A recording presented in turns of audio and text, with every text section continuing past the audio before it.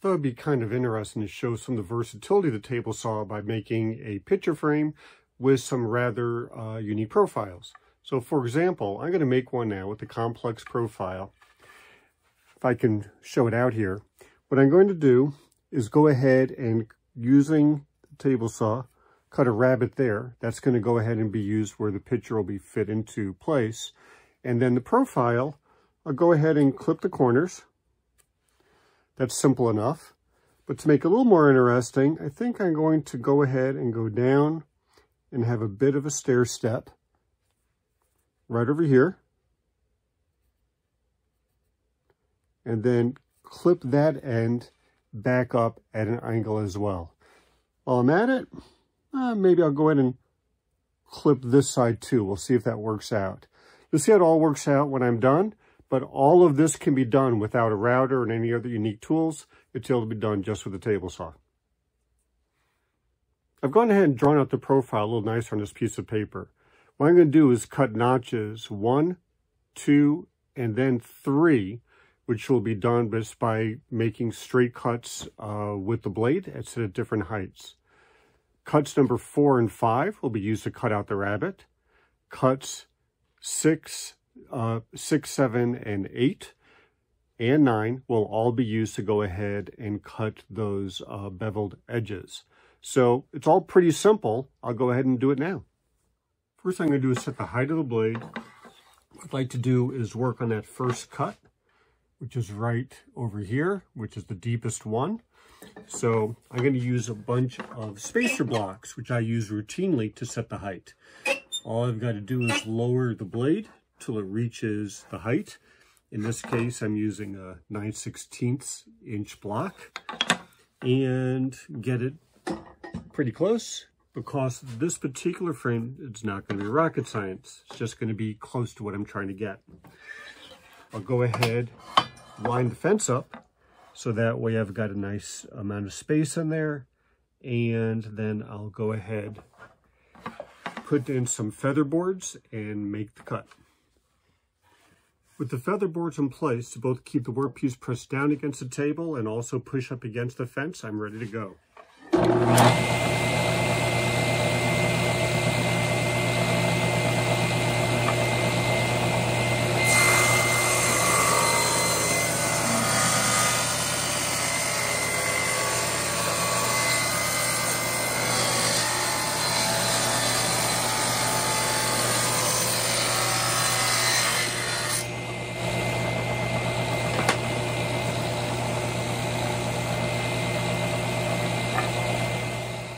Next, I'm going to go ahead, lower the blade about a 16th of an inch, and slide the fence over about one saw kerf's worth.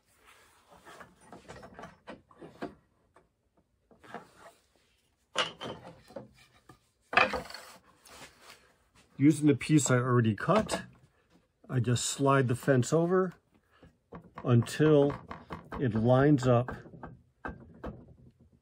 with the previous cut off to one side.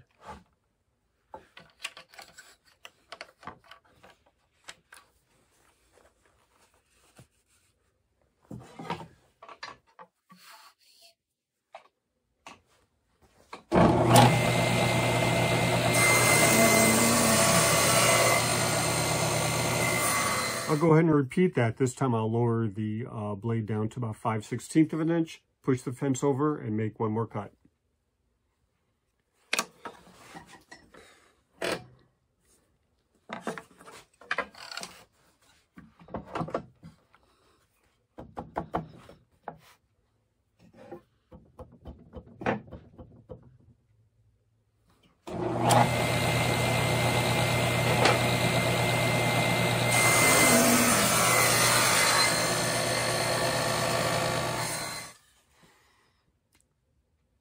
There's the uh, stair step cut into it.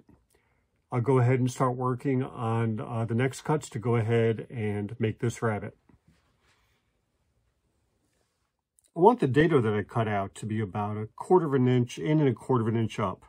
I've gone ahead and set my fence so that way the outside of the blade is a quarter of an inch away from the fence. The reason being is when I make the cut, the saw kerf has to be taken into consideration. So by measuring to the outside, I know I've got the right size. I'm actually not going to be making both of the cuts, even though they're the same dimensions, um, with the fence set here for safety reasons, which I'll show you in a moment. But I'm going to go ahead and make the first cut, which is going to, I'm going to go ahead and do this way because it's safe and easy to go ahead and set the fence to do that. And then I'll show you how I make the second cut and release that little piece of wood off the bottom.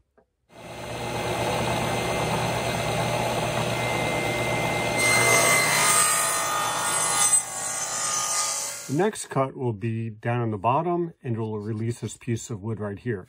But if I make the cut by just sliding the piece along this way, that piece of wood's going to get trapped inside between the blade and the fence, which makes for a dangerous situation. So I'm actually going to go ahead and switch this around where I move the fence out. I switch around the wood and I'm going to go ahead and line up the blade so that way it'll go ahead and make the cut with that loose piece of wood on the outside. And when I cut it, that piece will be able to be released and slide away from the fence instead of being jammed into it. When I make this cut, I'm not going to be using a feather board like I normally do. The reason being is that feather board will end up pushing in the loose piece when it comes off.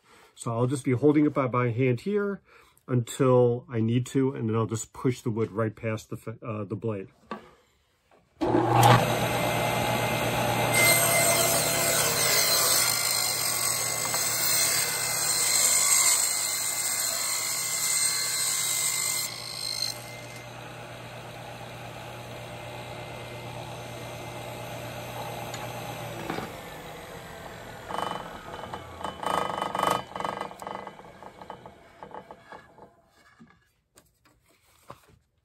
So there's my rabbet and the loose piece of wood that came off. All right, I've set the blade at 45 degrees and raised it just a little bit. Looking at the profile, you don't want to cut in too deep and cut across to the other side. I'm going to go ahead and cut these inner corners right now. The reason I'm doing the inner corners before the outside corners is that the outside corners are actually helping to support the piece flat against the table. So therefore, by leaving it as wide of a profile as possible, End up with a safer cut and have more control over uh, the movement of the wood across the blade. Planning ahead of time all your cuts and the order of them can really help uh, prevent a big hassle uh, downstream and also keep things a lot safer. I'll go ahead and line up the fence, just eyeballing it and seeing where I need to go ahead and clip this corner.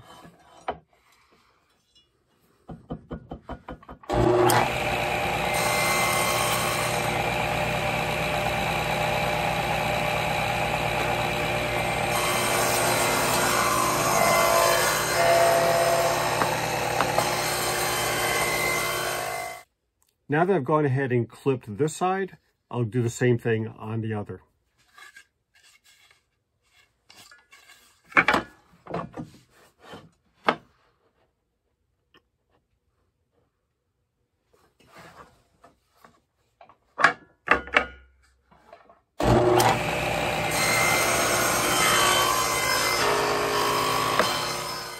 clip the outside corners, I'm actually going to go ahead and raise the blade up until it's over the top of the piece. And then I'll be able to slide the fence over and eyeball where I go ahead and like to make the bevel. And I make the cut on both sides.